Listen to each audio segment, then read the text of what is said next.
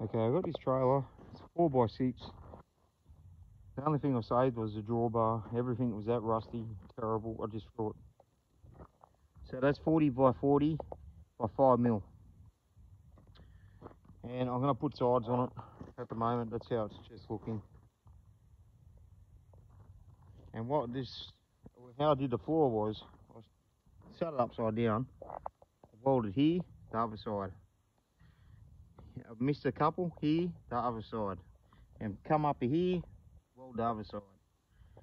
Don't start from here, the middle, and work your way out. What you do, it will pull taut. So I'll come around here, see how pretty flat it is? I can stand on this and won't even budge. It needs bracing underneath. I did angle the flooring downwards, so when the air hits underneath, it flicks it down. So I don't have dirt going all over everything.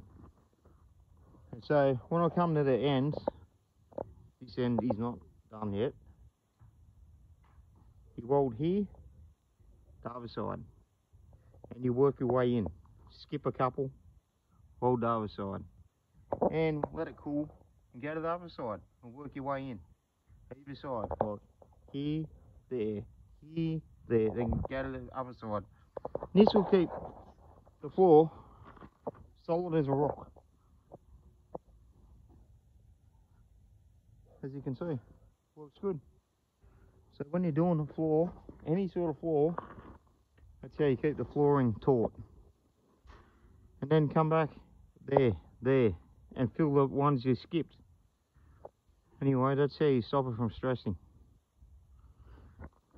If you want to do um, inch welding, you don't want it to bend too much, you weld it, come behind it.